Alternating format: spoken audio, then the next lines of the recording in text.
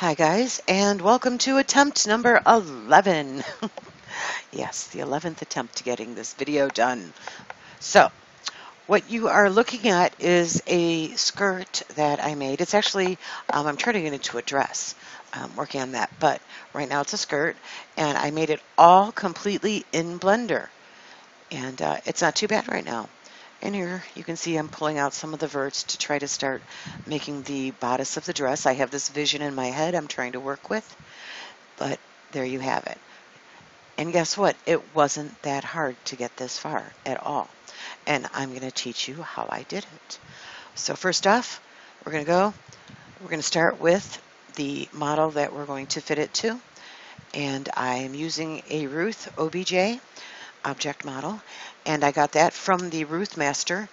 Um, you can get Ruth and Roth, the male version, um, the OBJs, etc., from the GitHub. And I'll give you all that information during class if you want it. But it's just a lot easier to have something to shape the mesh to. And there goes my dog's going on pause. Okay, sorry about that. My dog decided she needed to warn me about the killer leaf blowing across the yard. I love my dog. I really do. But she's crazy. Okay, so OBJ, you can get Ruth Roth in the GitHub. I'll explain all that. So what we're going to do next is click on the OBJ, make sure it's set at 000. The top two, X and Y, are the ones that matter right now. We're going to make a skirt.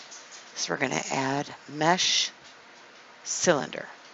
And as you can see, it's huge. And if we look at our numbers, it's also not centered on the AVI. We want it centered on the AVI right now, just because it makes it easier. So we're going to hit 0 and 0 again.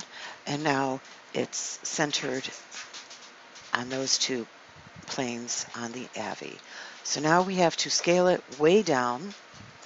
Eek. So we're going to hit S for scale. And then we're just going to make it smaller. We're going to pull it up Okay, and now we can start working with it. So the next thing we want to do is hit tab for edit. There's three different ways to manipulate mesh. Okay, right now it's set to manipulate on a line, and I'll show you. For those who are new to Blender, some of you may already know all this, and that's fine. See if we do that, it pulls out one line, but that's not what we want, so we're going to hit Control Z. We can do this one, which affects just a single vertex, vertex. Okay, and as you see, we pull that out and the bottom one stays in place. But that's not what we want right now, so we're going to hit Control Z. When working with Blender, Control Z is your friend. Remember that. Control Z undo undoes a whole bunch of things that you've done. We want to affect the faces, so we're going to hit the face button. Right click on this face, hit delete, delete the face flip over to the bottom, repeat the process. Okay. So now we have something we can work with. We're going to hit tab again to go back to object mode, and we're going to scale this down some. We're going to scale it on the x-axis, scale x, bring it in, and then the y-axis, scale y, and then we're going to move it over scale Y.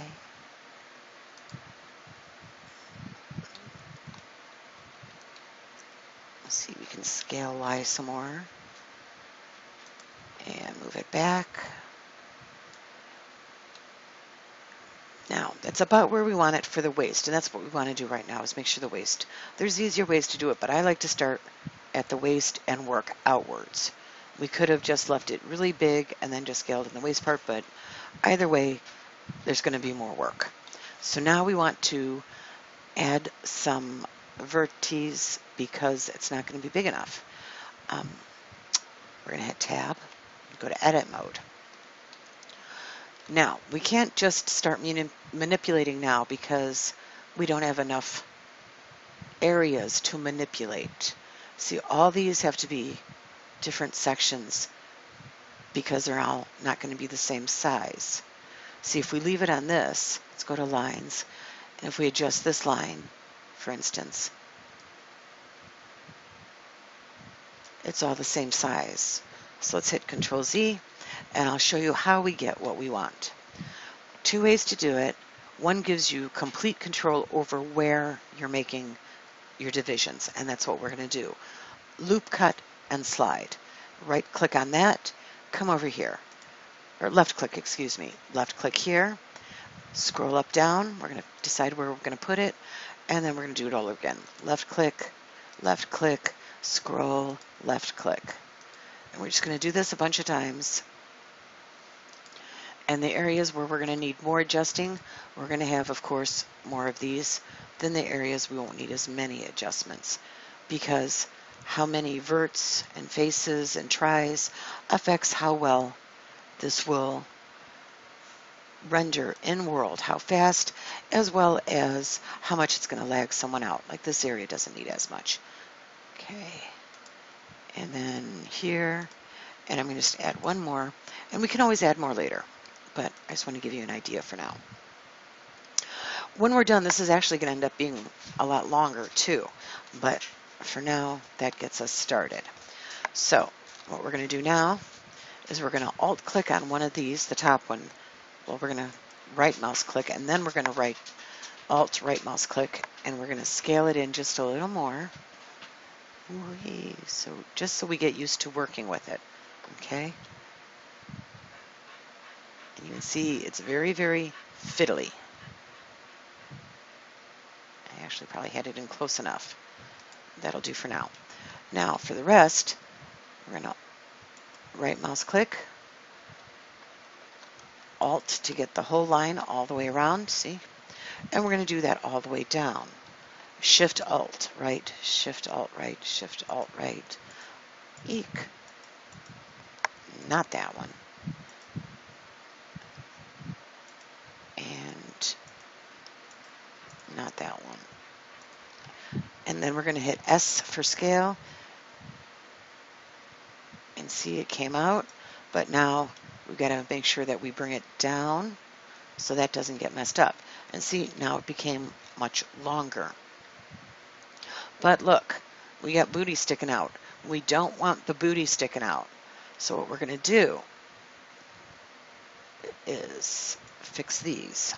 Alt, Shift Alt, Shift Alt. We're going to scale, um, that would be Y. Scale Y. Okay, so now the booty is hidden, but that doesn't look like it's going to be very good, right? So we're going to add these in for some more scaling but only on X and Y now. Because if we do it all, it's going to get too long. We don't want it too long. So scale Y, pull it out. That looks pretty funny, doesn't it? Scale X, pull it out. And now Alt Shift Alt, Shift Alt, Shift Alt, Shift Alt, Shift Alt. We could have actually shrunken the other ones, but I want this big and poofy because I want it to be really dramatic for you. So scale Y, bring it out. Scale X, oops, wrong way, wrong way, wrong way. Bring it out. Okay. So it looks more like a cake, doesn't it? But that's okay. We're going to hit tab for object and you're looking at me and you're saying, know, that like doesn't look like a dress at all. It looks like a battleship. And you're right. Normally I would make this even more round, but like I said, this is attempt number um, 11. And it would be 12, except I'm leaving in the barking dog just because I don't want to start over yet again. Okay, so we have our skirt selected. Well, what we hope will turn into our skirt. And it will. We're going to come over here. We're going to click on this little box and that's the physics box. I'm going to scroll up so you can see. And we're going to tell this prim that it's cloth. I've got it set for silk. Steps, I'm going to put in 15. The higher the steps, the more more time it's going to take, but the better quality. And that's going to be true a little bit further down here. Let me scroll down. Come on. There we go. So cloth collision, we want to tell it self collision. We're going to put steps for quality. I'm going to make that 10. Okay. And then we can do this. okay, cloth field weights. And let's set this for two, just to see what happens, okay? And you can affect the gravity too, higher or lower. I haven't played with that yet, so I'm not sure. So let's, uh, baby steps for all of us, right? Now, before we can say we're done, there's something else that has to be done. Now, it's already done on this one because, like I said, this is the 11th attempt, but I need to show you how to do it. You click on your OBJ, okay, and you click on that, and you want to tell it it's a collision. So now I just made it not a collision. So click, it's a collision. You can tell because it's giving you all this. We're not going to change any of that. Now we're going to click on this again, okay, and we're going to go to cloth cache and we're going to hit bake. Now this is going to take a while, so I'm going to go ahead and hit bake. Then I'm going to hit pause so you're not sitting here watching paint dry. Okay, so bake, and I'll be back in a couple. Okay, I'm back. So um, I ended up rebaking it because it looked like total crap. So um, I went in and I fixed it and I made it more round and stuff. And uh, so we can see how it looks. Now, one thing I did forget to tell you is before you hit bake, make sure this little green bar here is set all the way to the left. Okay, so you're ready to see what happens now. So now we can move this over, and as you can see, we can go step by step, and there's various uh, looks to it, and we just have to go through until we find the folds and the drape and the hang that we like. That's close to what we like. Now, I know it still doesn't look very dress-like because of all these little squares and stuff, but we're going to change that. But first, let's just find something that looks like something we might want to work with. And we can go all the way to the end and say, hmm, okay, so let's go back and let's pick, let's pick about, about there, right about there, sure. Okay, so we're going to pick right about there. But it doesn't look very dressed like you're saying. And you're right. So we need to do one more thing to get rid of all this weirdness. And that is we come over here to smooth. Ta-da! And now it's something we can work with. Not quite. Now we have to save it as an OBJ so it holds this shape. So we do File, Export, OBJ. Make sure that selection only is picked. As you can see, I've done this a few times already and deleted a few of them even. So I'm going to hit 4, or I'm going to hit uh, the plus button so it changes to 4, and I'm going to export it. And it's exported. I'm going to open up a new layer, File, import the OBJ we just saved, OBJ, and dun dun dun, number 4. And now we can do some editing. So let's go over here. And, oh, there's nothing in that one. Okay, so what we'll do is click on it, hit M for move, move it to that other layer. And there, now it's on the avatar. And we can start making some edits. And tab to edit. And this is what we're going to do. We want it to be in lines for now. We're going to hit this line, Alt, scale this in, S for scale, do big, and now we do some extra tweaking, scale Y. In a little more, there. Okay, we want to do the same here. Alt to get all the lines, scale, bring it in. See, if we bring it in too much, we got stuff showing, so it's, it's a bit of guesswork. Okay. And we're going to do that all the way down. And then you might need to add, don't forget, you might need to add more loop cuts and slides in the certain areas to get that look. For instance, you might want the um, behind to be very pronounced with the skirt so you can really see the behind. Or you might want it full like this but we want it more rounded. And we can do that in two different ways. You can go through and go step by step, or you can, let's go to faces, okay, hit C. I'm going to show you how much different it looks. We do that, okay, and all I did was left left click to get all those. If you don't want them all, you hit the uh, mouse scroll button and it unselects. Okay, but we want, I'm going to smooth this out. I'm going to show you how to do that. Then you uh, right mouse button to make the C go away so you can do what you need.